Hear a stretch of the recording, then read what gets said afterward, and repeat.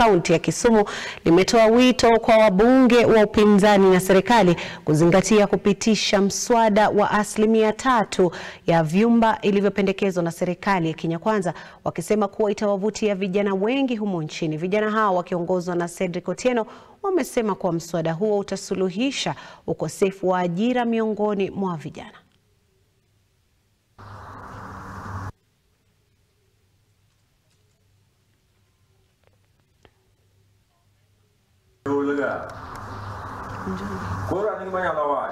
Hiyo budget yenye uh, our president is going to pass it i think hiyo budget iko sawa because it's going to reduce number of unemployment it is going to increase a lot of opportunity in our offices in government is going to give us a lot of changes we are having regarding the light roads the land so let us agree with the budget and uh, we enjoy the fruit after that this bill, uh, the, the, the housing levy, uh, it uh, captures the interests of the youth.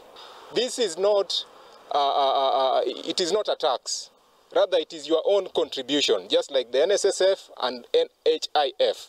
So I'd like to urge the parliamentarians, the majority and the minority side, when this uh, bill comes to the floor, kindly pass it because this is for the interest of the youth. It... tayari kufanya kazi na serikali ambayo iko.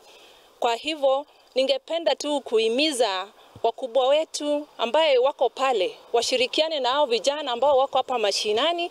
Tumepata kwamba hao vijana ambao wako mashinani, wengi wao wamekosa ajira, wengi wao hawana la kufanya, kwa maana hawana mtu ambaye anaweza kuwa wa empowerment. Naam,